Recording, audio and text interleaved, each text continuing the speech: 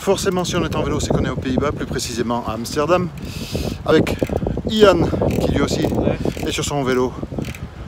Et on vous propose euh, de vous mettre juste en appétit pour ce tour de monde.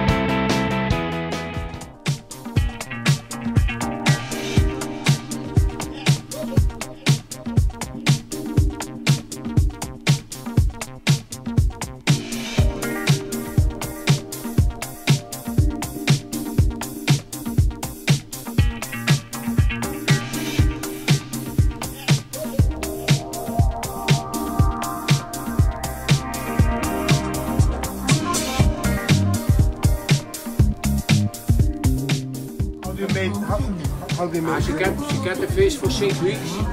Six weeks? She take the heart out, she put them in salt and deep frozen for the whole year. And next year in May and in June she got the fish, the new ones.